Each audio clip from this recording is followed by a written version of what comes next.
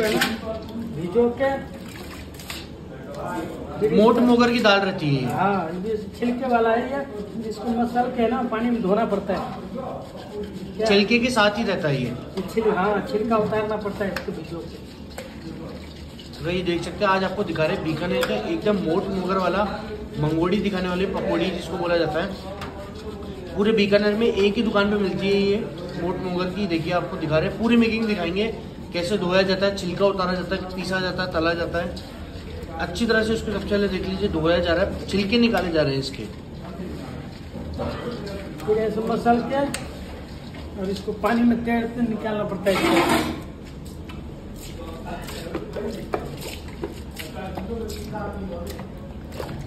अच्छी तरह से मतलब इसके जो छिलके हैं वो ऊपर आ जाएँगे। ऐसे करा जाता है। तो वही देख सकते हैं। अच्छी तरह से जो है इसकी धुलाई करी जा रही है। हेलो। रुक जा।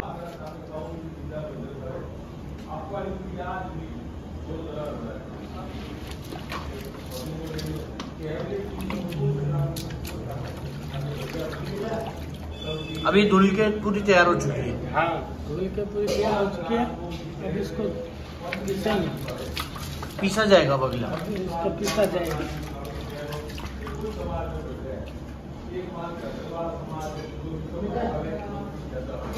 ये। धुल गया। इसमें डालोगे? ये देख सकते हैं अब इसको इसके अंदर डाल दिया गया है। अब इसका नेक्स्ट प्रोसेस है पीसने का। इसको है ना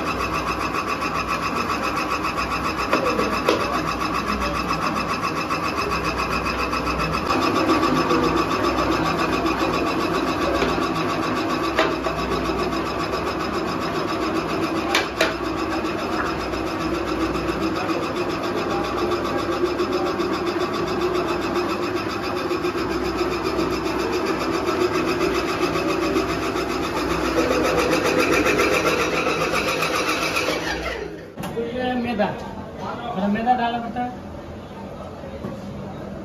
बेसन डालना पड़ता है। मैदा डालने का इसमें बेसन डाल दिया गया है। हाँ बेसन।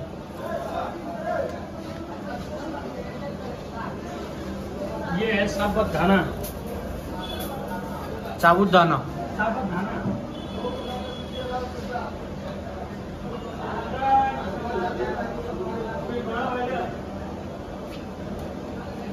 ये है नमक।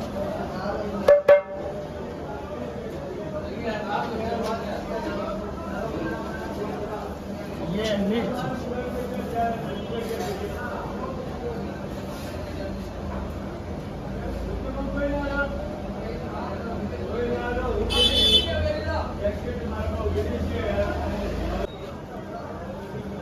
ये डाल रहा हूँ हींग।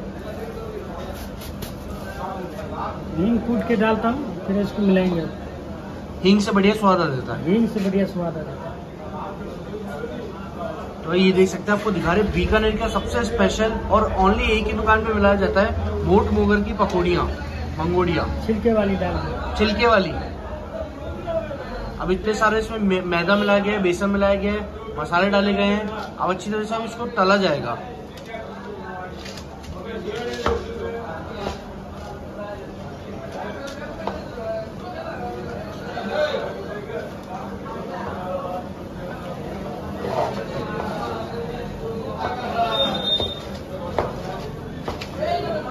ये मसाला मिला के तैयार है अब इसको निकाला जाएगा पकौड़ी।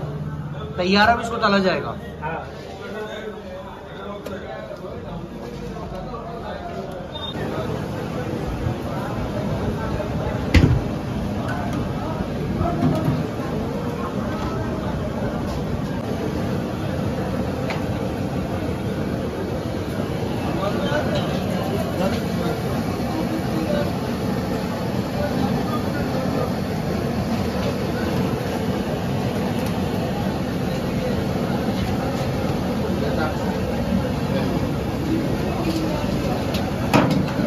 자, 전체를 떨어주세요.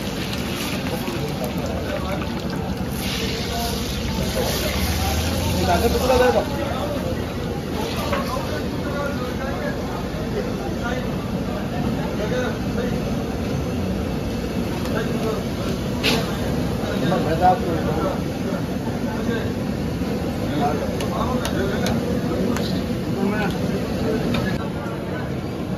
वही देख सकते हैं उसको अच्छी तरह से जो है तला जाएगा मोटी की देखना आप देख सकते हैं। देख सकते हैं। बढ़िया से जो है निकलते जा रहे हैं नीचे से ही। और ज़्यादा नहीं इसको लगभग लगभग एक मिनट के अंदर निकाल भी लिया जाता है।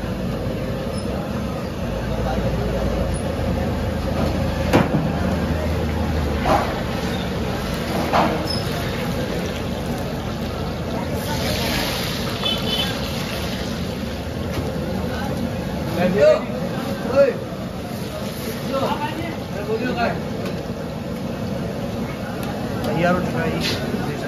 अंकल कितने रुपए किलो आता है ये? दो सौ चालीस रुपये किलो।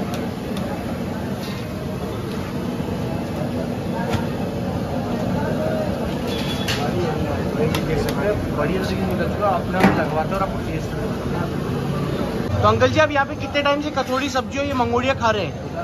मेरे को कम से कम बाईस वर्ष हो गए। ये दुकान को हो गए साठ सत्तर वर्ष हो गए इस दुकान को। यहाँ बहुत मशहूर दुकान है बीकानेर की। दुनिया हमारा नाम से दुकान है ये प्रसिद्ध है। बहुत दूर दूर से आते हैं। शहर से नहीं और दूसरे शहरों से आते हैं। दूसरे राज्यों से आते हैं लोग। आते हैं तो दुनिया की दुकान आते हैं। और बहुत टेस्टिंग है ये पकौड़ी और कचौड़ी दोनों टेस्टिंग है।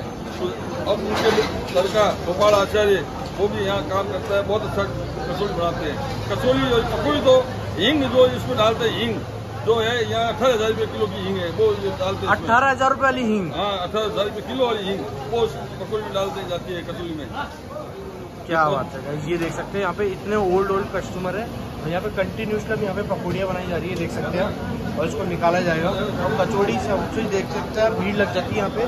बहुत ही फ़ेमस है ये ये। ये देख सकते हैं। सुबह सुबह का मॉल है ये इतनी जल्दी जल्दी यहाँ पे भीड़ लग जाती है।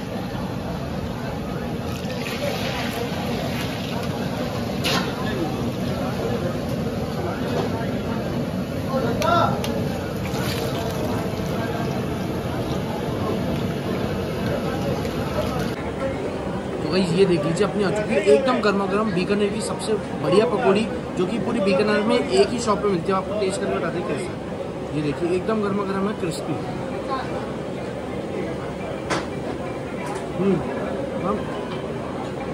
बहुत ही बहुत ही बढ़िया, गाइस, इसमें हींग का स्वाद आ रहा है और एकदम क्रिस्पी हो रखी है। मतलब कि मैंने तो आज तक ये खाई नहीं बीकानेर में पहली बार ट्राई करी।